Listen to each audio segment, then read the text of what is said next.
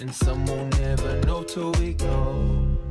You never know, you never know.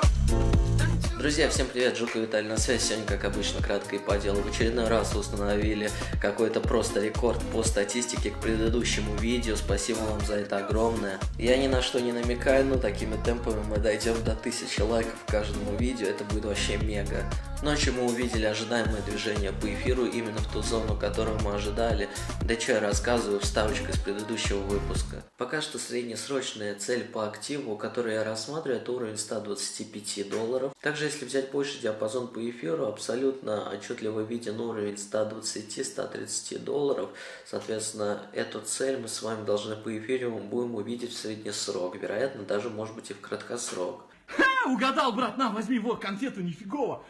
И это движение мы с вами увидели, единственное место консолидации, мы с вами увидели довольно интересную реакцию рынка, но сейчас об этом расскажу, здесь не все так просто.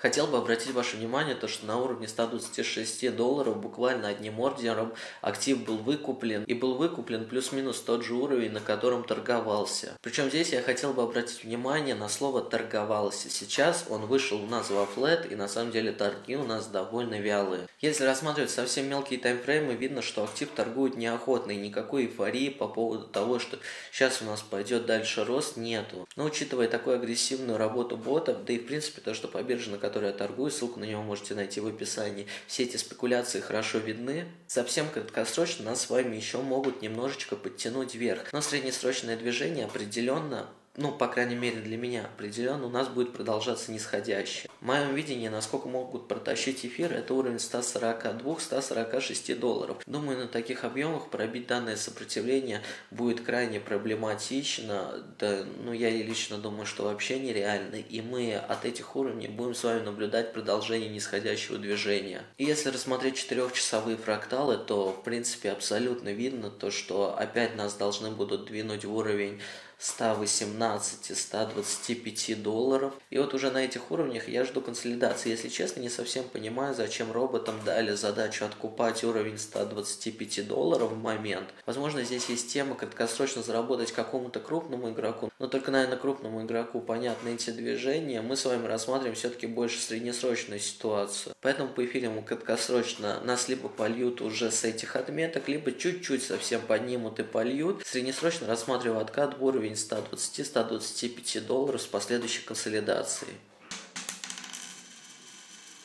Друзья, ну прежде чем мы с вами перейдем к разбору по биткоину, хотел бы рассказать вам о действительно неплохой телеграм-группе, посвященной криптовалютному трейдингу Криптокорона. Действительно, канал Криптокорона бесплатно помогает тысячам людей в принятии их торговых решений. Прогнозы, рекомендации, достойная аналитика. В закрепе канала всегда есть статистика торговых сигналов за предыдущий месяц, эта статистика радует глаз. Данный канал открытый, вся информация и вступление бесплатно. Переходите по ссылке в описании и присоединяйтесь к действительно достойному каналу, посвященному торговле криптовалютами.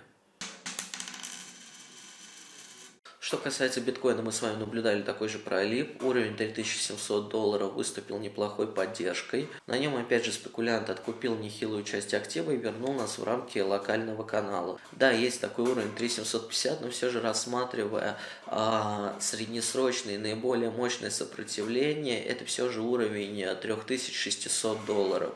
И в этот уровень в рамках медвежьего сетапа в среднесрочной ситуации я ожидаю актив. Тут нас очень навряд ли протянут в уровень 4000 долларов. Вероятнее всего, если у нас будет какой-то локальный рост, он ограничится уровнем 3900, 3950 плюс-минус. Поэтому на данный момент ситуация я вижу именно в таком ключе. Соответственно, кого интересует точки входа по биткоину, пока что хороших точек входа по биткоину, да и по альтам я не вижу.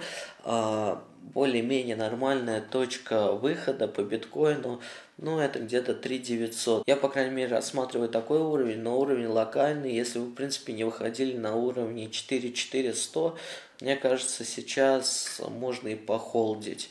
Потому что сейчас начинается движуха для простого обывателя. Это и телефоны с криптокошельками, и по новостям начали говорить про криптовалюту и про законопроекты. И вопрос, сколько продлится эта фаза накопления, это действительно вопрос, потому что все-таки надо будет рассматривать из нее выход, а выход должен быть на каких-то хороших новостях. И вот этот момент действительно нужно мониторить, потому что как только у нас появятся какие-то хорошие новости, вот, ну, у меня такое ощущение складывается, то, что массы сейчас готовят к этим хорошим новостям, чтобы они начали резко все вливаться. Плюс также ситуация по хардфорку эфириума, действительно новостей довольно мало, и как отреагирует сообщество на этот хардфорк не совсем понятно, потому что есть как много плюсов, так и много минусов. С одной стороны, людям, которые занимаются торговлей, это на руку, с другой стороны, майнерам как бы и профитность меньше с добычи эфира, ну и как бы есть резон перейти на другие алгоритмы. Поэтому такие вещи мы уже будем с вами смотреть в моменте. Как обычно, если был полезен, поддерживайте видео лайками, оставляйте свои комментарии, только там особо сильно не ссорьтесь. Эй, заткнитесь с вашим шумом! А ты заткнись со своим заткнись! Ты заткнись со своим заткнись! Заткни свой рот! Теперь моя собака не заткнется! Почему ты не заткнулся? Я тебе рот заткну! Ты тоже заткнись! Эй, я голову высунул! Но если не подписан на канал, обязательно подписывайтесь. Работаем.